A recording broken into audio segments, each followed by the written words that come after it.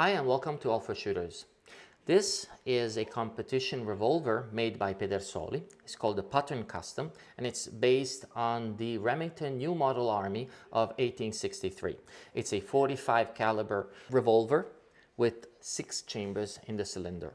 It's uh, a very interesting gun for a number of reasons because uh, historically the new model Army has introduced a lot of features that made the revolver what it is today. First of all, it has a closed frame and uh, the second thing has the barrel that is actually threaded directly in the action, making the action of the uh, revolver extremely strong. Another interesting feature is uh, that has been introduced by the new model Army is that the charging rod also features this uh, sort of uh, fin that allows it to have a much surer and safer insertion in the holster.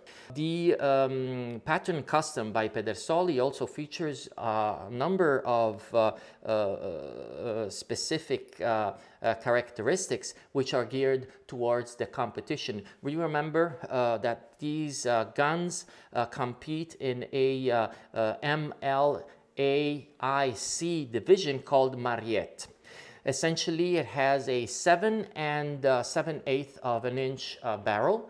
The uh, barrel is a uh, Pedersoli match grade, which allows it to have the maximum accuracy from these guns. The fixed rear sight is complemented by a adjustable front bead.